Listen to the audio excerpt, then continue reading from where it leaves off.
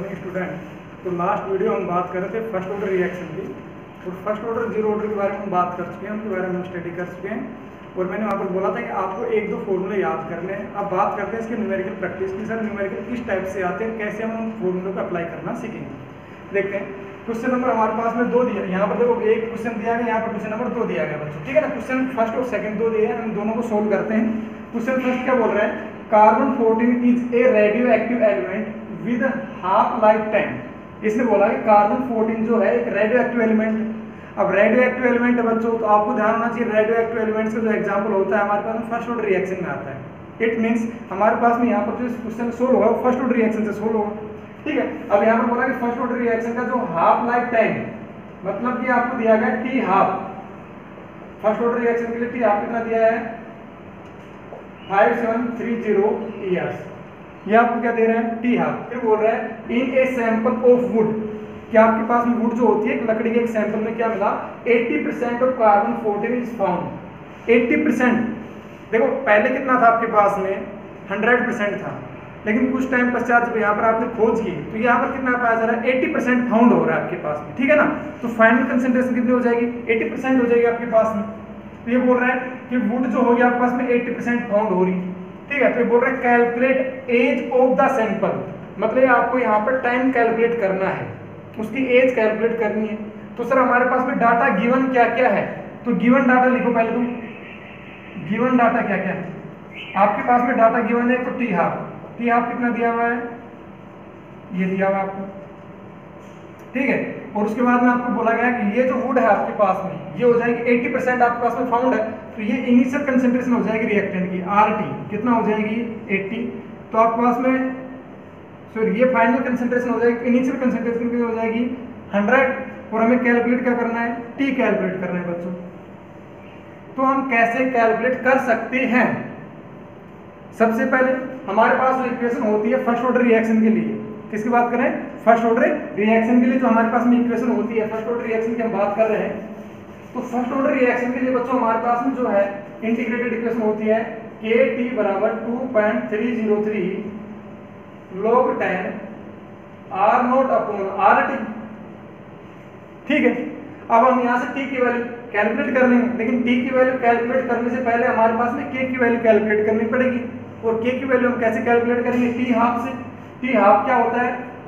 First order reaction का 0.693 बटा k तो यहाँ से क्या कैलकुलेट करेंगे? K 0.693 बटा t हाफ़ कितना दिया हुआ है? 5730 5730 ये हो जाएगा आपके पास में बच्चों। और यहाँ पे क्या जाएगा? ईयर इनवर्स में आ जाएगा आपके पास में। तो इसको जैसे आप सोल्व करोगे के को तो आपके पास में ये आंसर आएँगे। 1.21 point two one into ten की पावर माइनस में फोर जो आपके पास में आंसर है वो कितना आएगा? 1.21 point two one into ten की पावर फोर ईयर इनवर्स ये के की वैल्यू आ जाएगी आपके पास में। ठीक है? के की वैल्यू यहाँ पुट कर देंगे इस फॉर्मूले में। तो हमारे पास में क्या जाएगा? टी आ जाएगा। चलो करते हैं इसको पुट इधर देखते हैं बच्चों। आपके पास में यहाँ पर दिया गया है टी कैलकुलेट करना है आप लोगों को। तो टी यहाँ रख दोगे।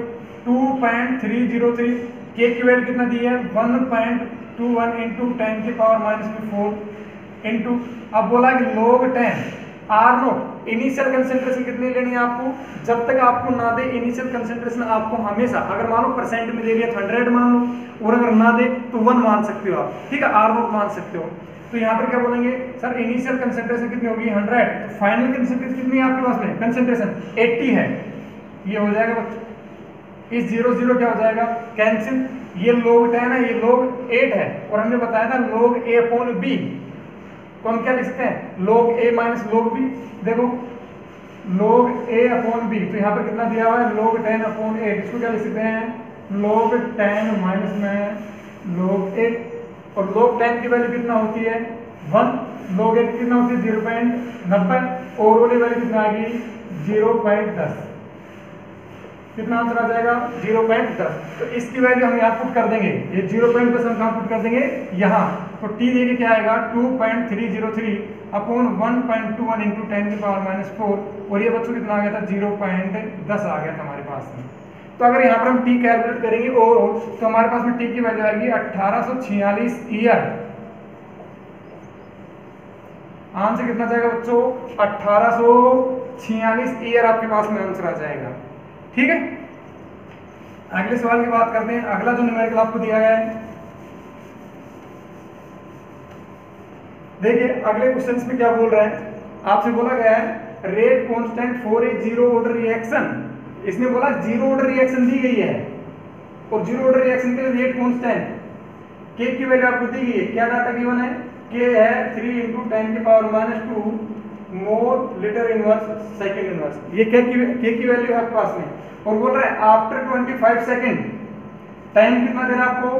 25 सेकंड इसने बोला concentration of reactant is found to be कि 25 सेकंड के पश्चात आपके पास में रिएक्टेंट की जो कंसेंट्रेशन है, वो फाउंड है, पाई जा रही है। कितना मतलब हम बोलेंगे sir ji final concentration R T zero point five M ठीक है तो बोल रहे हैं calculate the initial concentration of reactant आपको कैलकुलेट क्या करना है बच्चों?